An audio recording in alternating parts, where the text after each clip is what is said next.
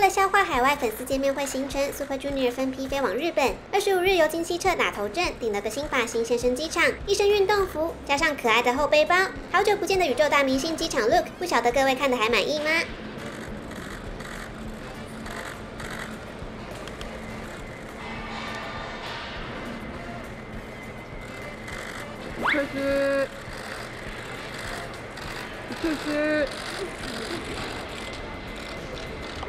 시작해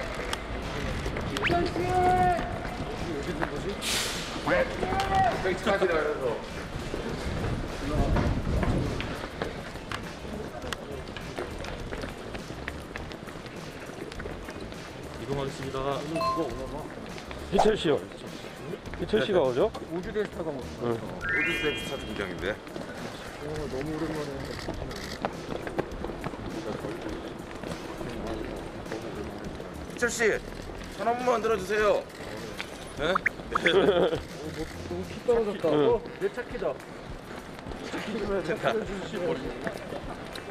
이쪽으로 이동하겠습니다. 여러분 안녕. 아니요, 끝까지 가야하는데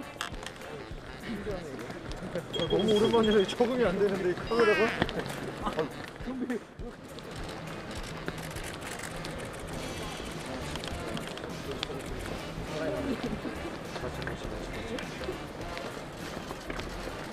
조심히 잘 다녀오시고요. 네, 나가신 거 아니야? 네, 모르게요.